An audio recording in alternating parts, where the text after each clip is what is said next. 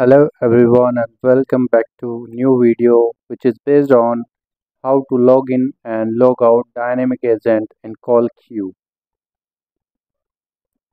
So how to step 1 create call queue in UCM. So let's creating a call queue. To create call queue navigate to call features and call queue option. Now click on add and give a name. So I'm giving queue1 and please remember do not add static agents as I have mentioned in the step 2 do not add any extension manually in call queue so we are not adding here any agent. We are just saving it. Similarly i'm adding one more queue 6501 and giving a name queue2 and similarly not adding static agent. So there is no static agent So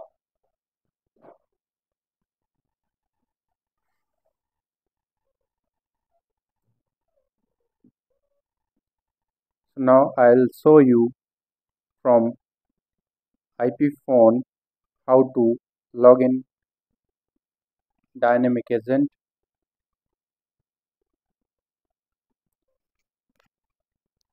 So after adding call queue, we have to check the third step. The third step is set agent login and logout code suffix which is under call queue global queue settings. So here we have global queue settings option. And so as you can see by default it is saying that if you set the suffix code is star and logout code is star star then dial 6500 star to log in and 6500 star star to log out.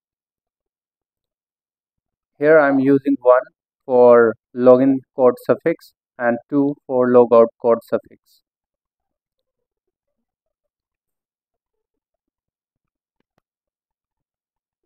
So as we have created global queue settings, now the fourth step is dial queue number plus login suffix code to login agent in queue and the fifth step is dial queue number plus logout suffix code to log out agent from queue.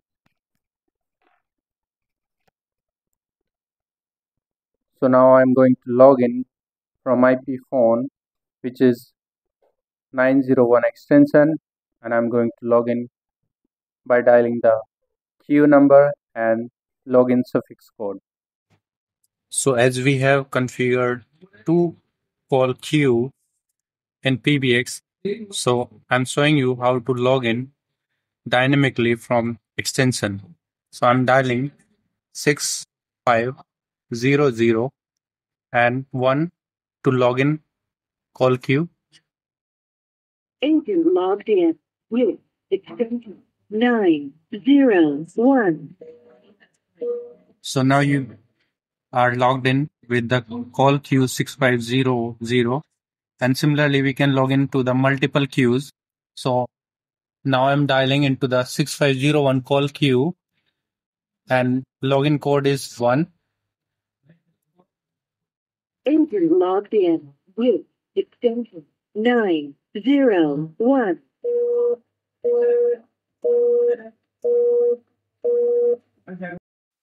So as I have dialed 65001 and 65011 so I'm logged in in call Q6500 and 6501 from IP phone whose extension is 901. Now I'm going to log out this extension. Same way we can log out dynamic agent via 6500 and 2 is the logout port.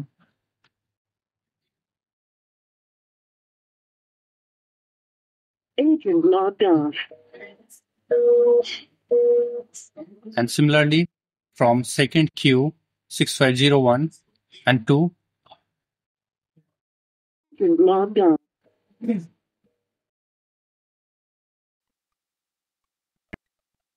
So now I'm refreshing and you can see that 901 is logged out from the call queue.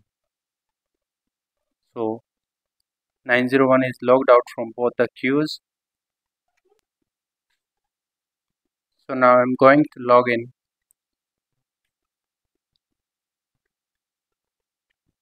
So now I'm going to log in wave extension which is 903 and I'm dialing call queue number and login suffix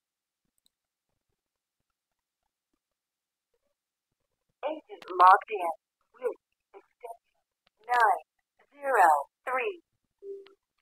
And similarly I'm login second call queue 6501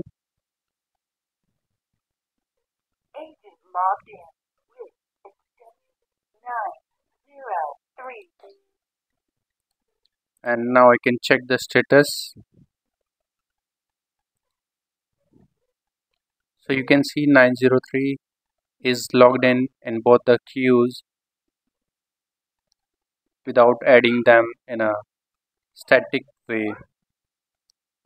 And this way is called as dynamic login of agents. And now I'm going to log out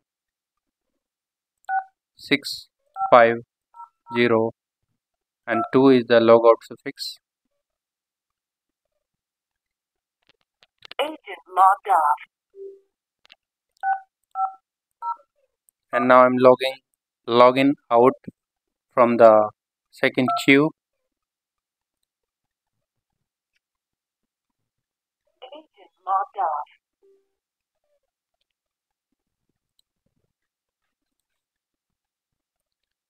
Now I'm refreshing queue status.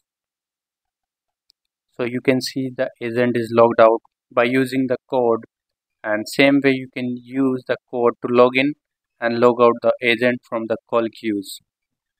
And single agent can be a member of multiple queues. Thank you for watching this video and don't forget to subscribe the channel. And we will meet you in the next video with a new content. Thank you